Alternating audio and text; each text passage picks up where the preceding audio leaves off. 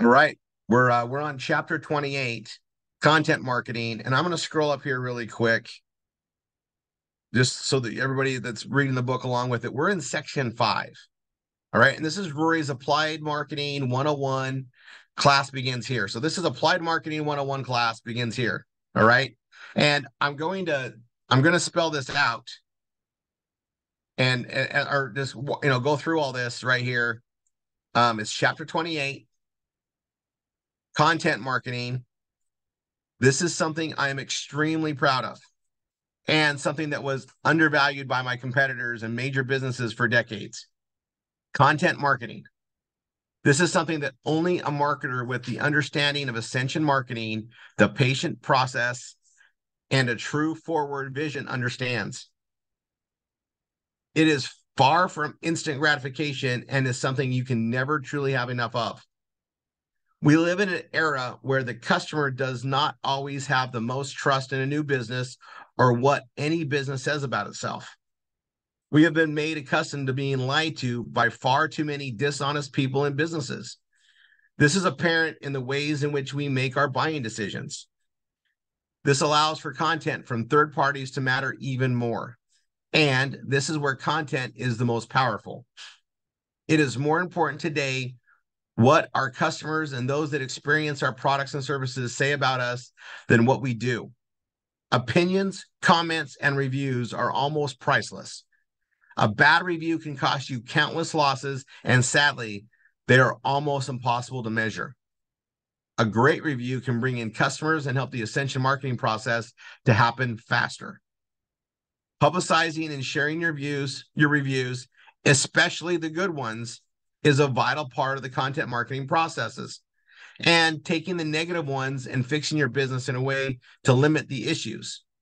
Responding to them and rectifying is always important and part of proper customer support.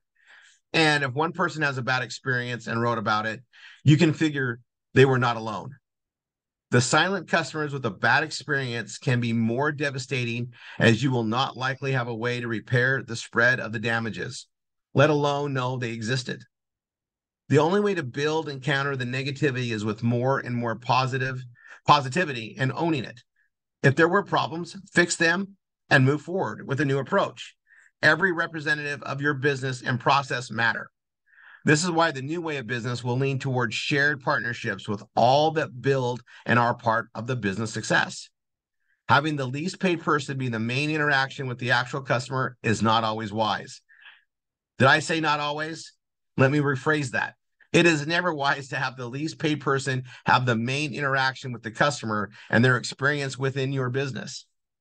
I've been doing content marketing even before the internet was any form of effective communication direct mail, newspapers, and printed materials to support the products or services I was representing.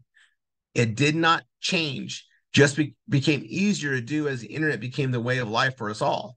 If anything, it has become so much easier, and yet most do not understand its incredible and long term importance. And as more and more realize how important it is and truly how easy it can be, they will be flocking to it with ease. Remember, if it were easy, everyone would be doing it. And I'm going to go over, you know, some stuff we're on. Chapter 29 is going to be fun. I'm going to go over just a couple more things to stay here really quick. Content marketing is something, again, I've been doing it literally since 1989. Okay.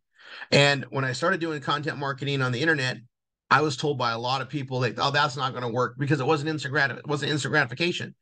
You're writing articles, doing PR pieces, blogging, creating content to back up research, the product value, all sorts of things. And the more time went on, the more that became valuable. Yeah, it might have taken a long time. So, you know, when you when you focus on your, you know, your blogging aspects and your PR pieces, know that it's not going to be instant gratification, but it's going to be setting a precedence and people can look back at it for a long time and see that there's documentation and the amount of documentation will outweigh the negative issues when they can see that this company's been around for a long time and how you handle things. Remember, everything's documented. You might as well help the documentation process and have a voice in what it says. Content marketing is key.